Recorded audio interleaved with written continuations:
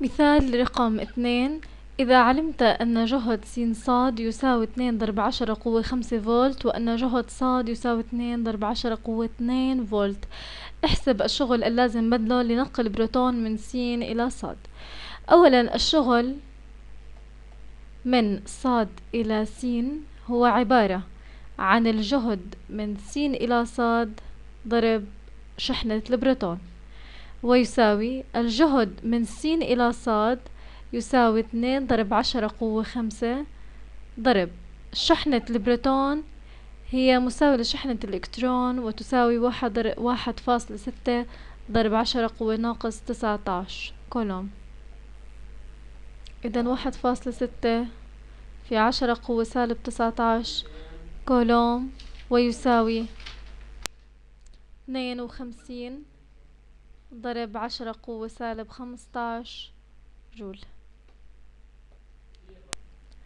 المطلوب الآخر التغير في طاقة الوضع الكهربائية عند انتقال واحد ضرب عشرة قوة اثنين كولوم من صاد إلى المالانهاية أولا الفرع الثاني هو التغير في طاقة الوضع من صاد إلى المالانهاية ويساوي الجهد من المالانهاية إلى الصاد ضرب شحنة أيضا البروتون. عفوا.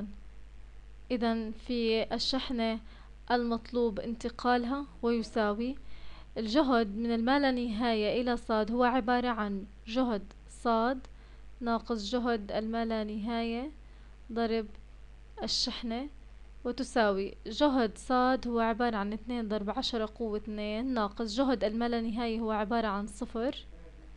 ضرب. الشحنة هي واحد ضرب عشرة قوة اثنين كولوم. إذا اثنين ضرب عشرة قوة اثنين ناقص صفر. هي عبارة عن اثنين في عشرة قوة اثنين ضرب واحد. في عشرة قوة اثنين والإجابة اثنين آه ناقص. إذا اثنين ضرب عشرة قوة أربعة. جول. الخيار الثالث الشغل اللازم بذله لنقل الإلكترون من س إلى صاد. شغل من س إلى صاد. يساوي الجهد من صاد إلى س ضرب شحنة الإلكترون ويساوي الجهد من صاد إلى س يساوي نفس القيمة هذا ولكن بإشارة معاكسة. يعني سالب اثنين ضرب عشرة قوة خمسة ضرب شحنة الإلكترون هي نفسها شحنة البروتون كولوم. ويساوي سالب ثلاث فاصلة اثنين ضرب عشرة قوة سالب أربعتاش جول. أما إذا أردنا جهد س فنحن نعلم أن جهد س صاد عبارة عن جهد صاد ناقص جهد س جهد س صاد هو اثنين ضرب عشرة قوة خمسة ويساوي جهد صاد اثنين ضرب عشرة قوة اثنين ناقص جهد س وبحل هذه بحل هذه المعادلة بيعطينا إنه اثنين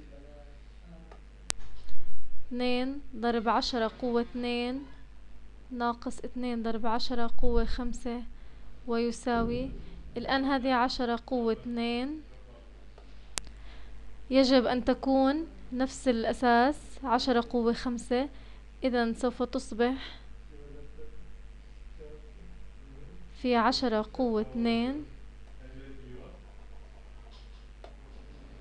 في عشرة قوة خمسة ناقص اثنين في عشرة قوة خمسة وبيعطينا الإجابة.